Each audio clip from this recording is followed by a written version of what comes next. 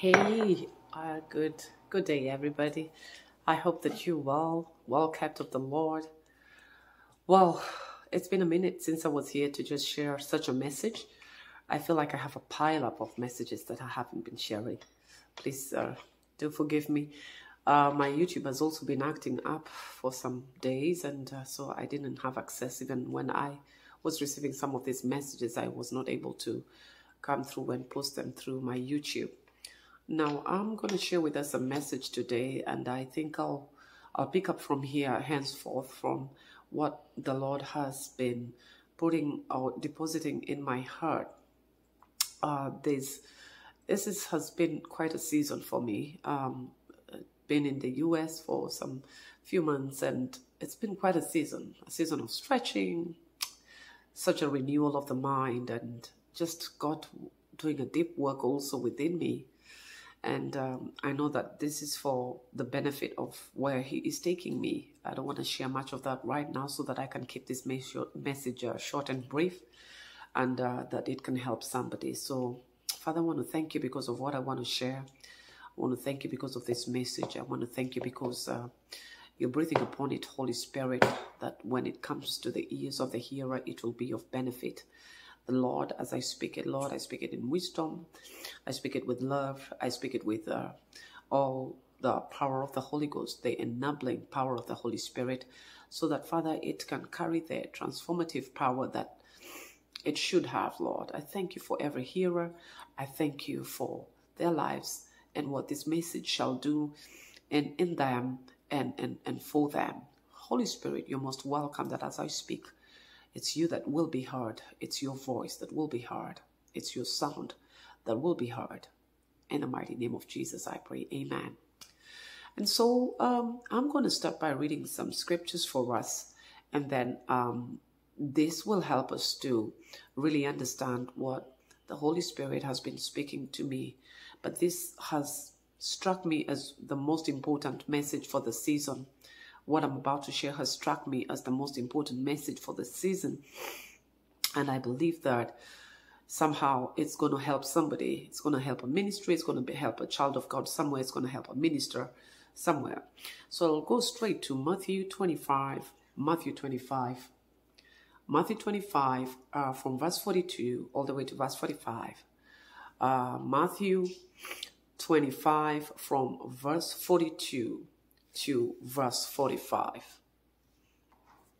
So, yes, uh, for I was hungry and you gave me nothing to eat.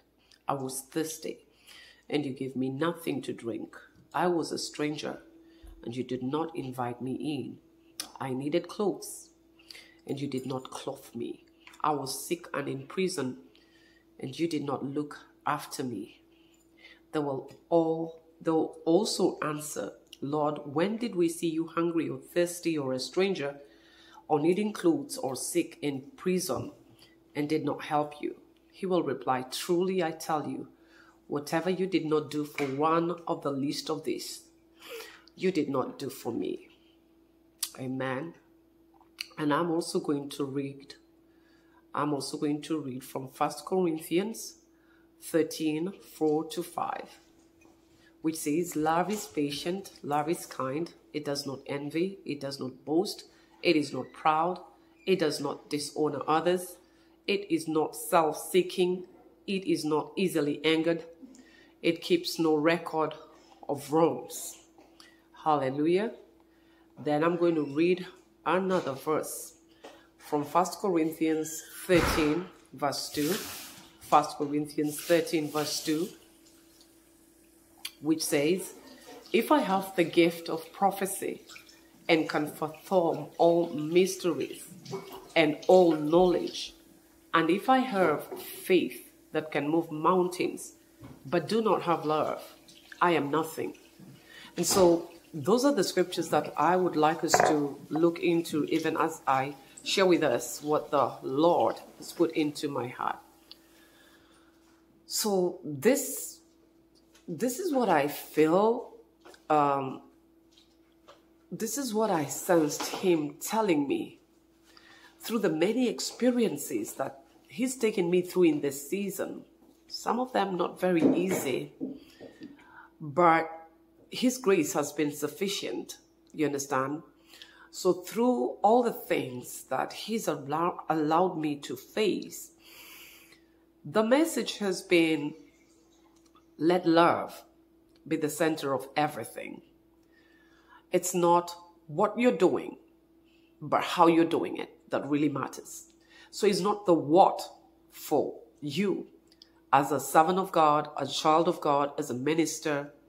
Um, it's not what you could be called into the corporate space.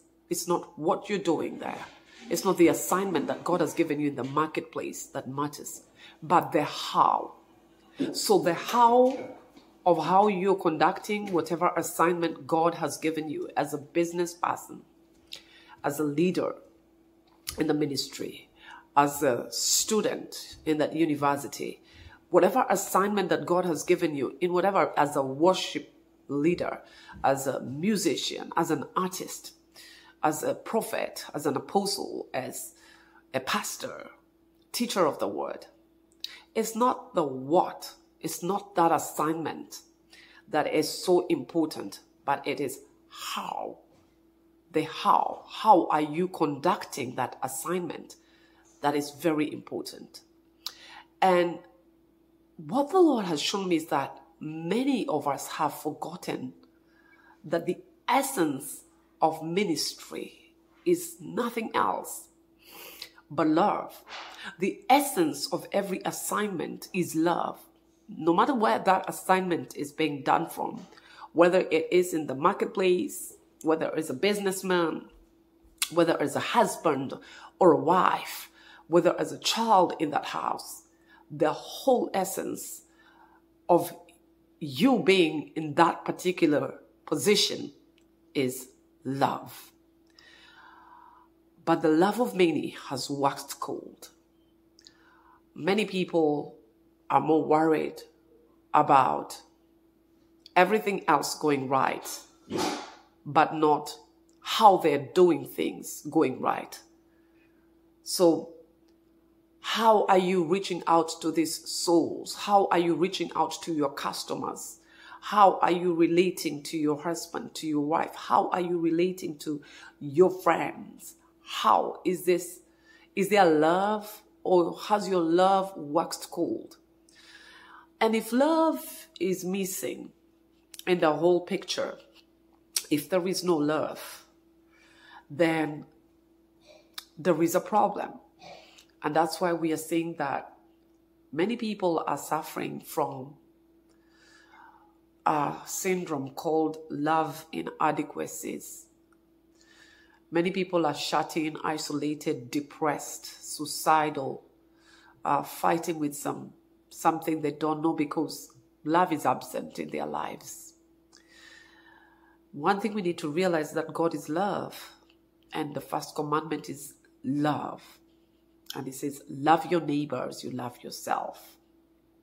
But uh, the Lord began to show me that many of us are we love material things more than we love human beings. We love that car more than we love that human being. We love that that that that dress. We love that hair.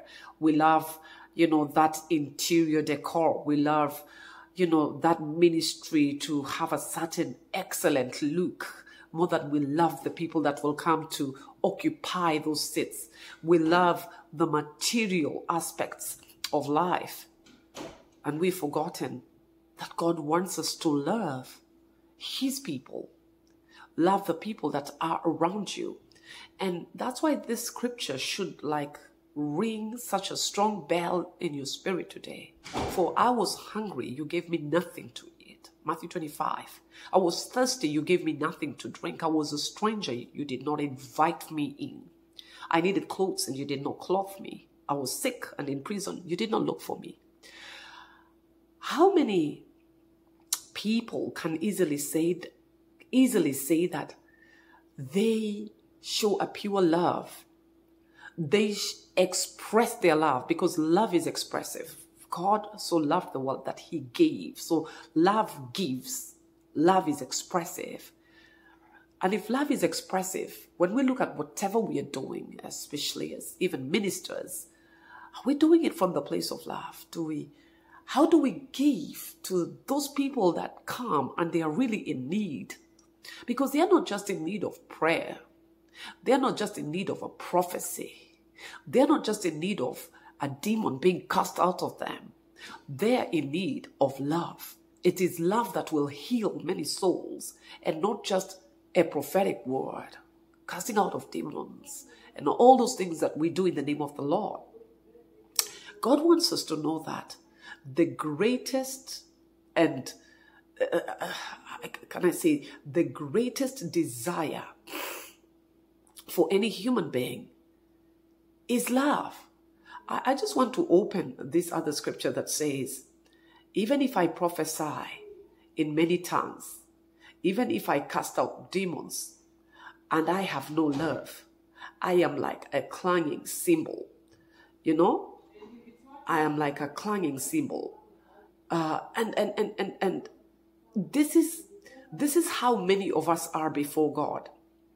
It actually, is this the same scripture that I read earlier, the First Corinthians, um, First Corinthians, uh, uh, uh, First Corinthians thirteen verse two, and and if you read further on, uh, you see that the one thing that is deficient in many of the people that are doing the work of the ministry is not that they can't do it with excellence, it's not that they cannot be able to to to to pull out the best marketing strategy. Uh, it's not that they cannot be able to, uh, you know, uh, advertise themselves the way that uh, they should. The main problem is that love is not at the center of everything that we are doing. So the Bible says in the book of First Corinthians, chapter 13, from verse 1 to 13, that if I speak in the tongues of men and of angels but have not love, I am a noisy gong or a clanging cymbal. And if I have prophetic powers and understand all mysteries and all knowledge, and I have all faith so as to remove mountains but have not love, I am nothing. If I give away all I have and deliver my body to be burned but have not love, I gain nothing. Then it goes to say, love is patient, love is kind, love does not envy nor boast, it's not arrogant, it's not rude, it does not insist on its way. This is from the ESV version. It's not irritable, resentful. It does not rejoice at wrongdoing, but rejoices with the truth. Love bears all things, believes all things, hopes all things, endures all things. Love never ends. But as for prophecies, they will pass away. As for tongues, they will cease. As for knowledge, it will pass away. So the essence of ministry, the essence of the gospel was that it reaches out to humanity or to the souls of men from a place of love. And God is love. God is love. Eh, he is love. And so if we want to say we are of God and that we are children of God, the first proof of who we are when we say we are children of God, the first proof to the heathens that we are children of God is not how well we have put together that conference, is not by the rich array of different speakers, is not from um, you know, you know, the good advertising, the the sticky, the the standing out posters and flyers.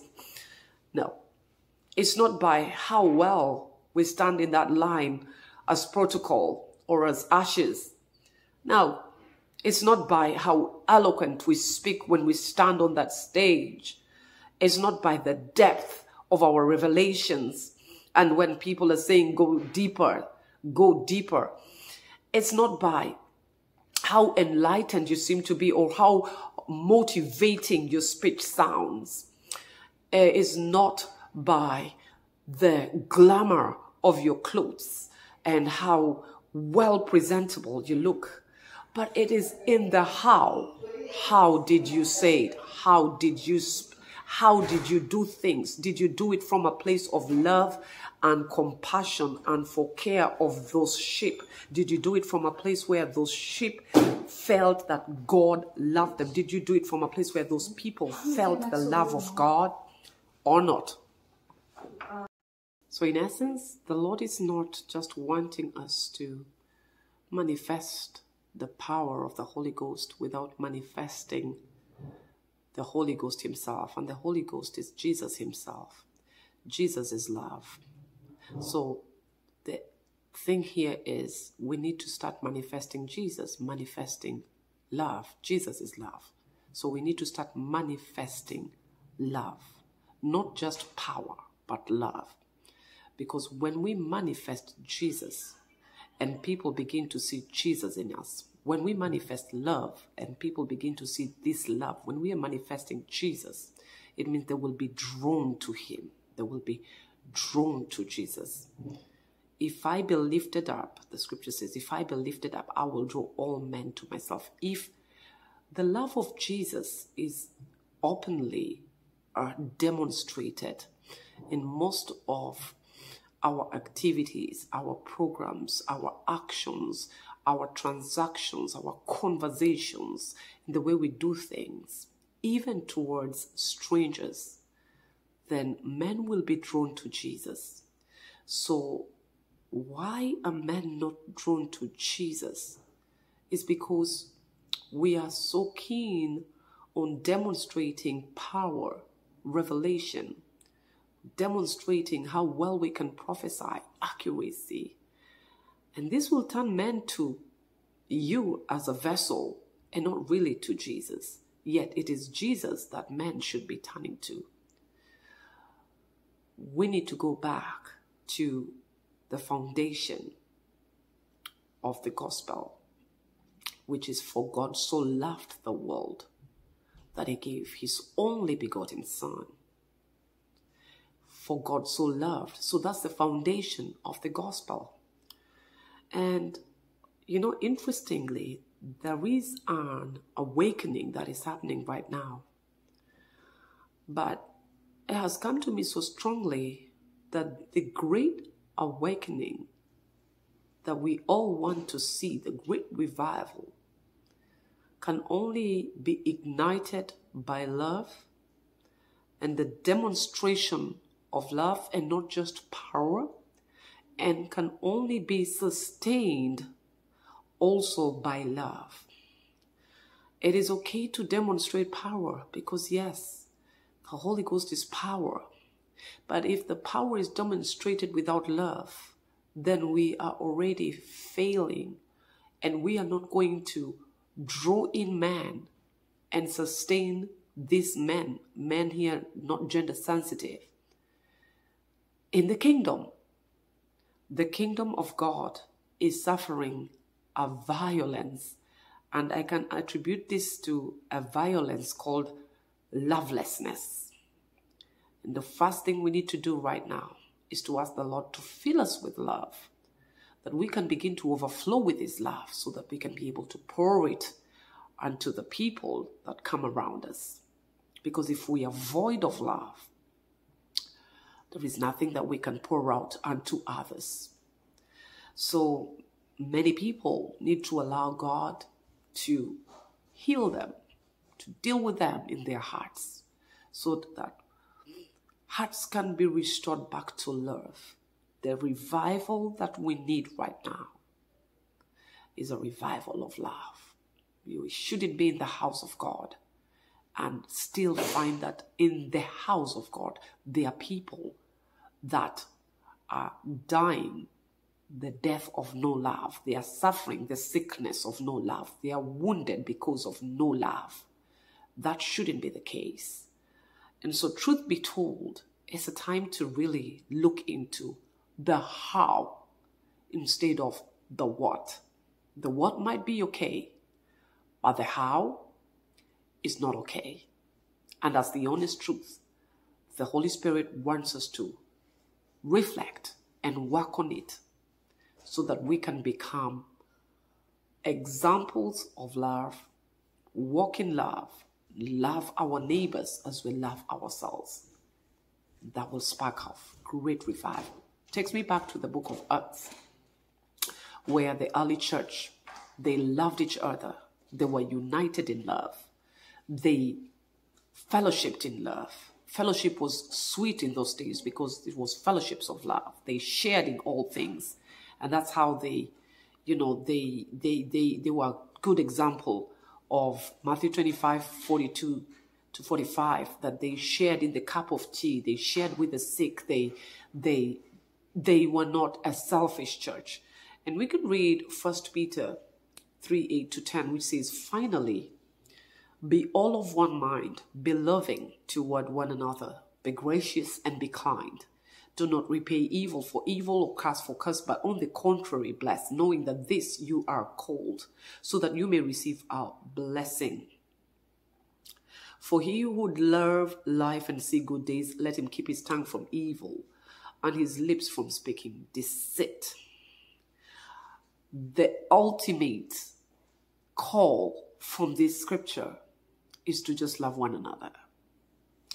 Now, gauge yourself and see whether you love your car more than you love your neighbor, whether you love your dog more than you love your neighbor, whether you love your house more than you love your neighbor, whether you love your ministry more than you love the people you're leading, whether you love money more than you love the humans that are around you. It's really a self introspection that may lead to the repentance of one that is humble and willing for the Lord to use them as a vessel of love. Have a wonderful day. Thank you for listening.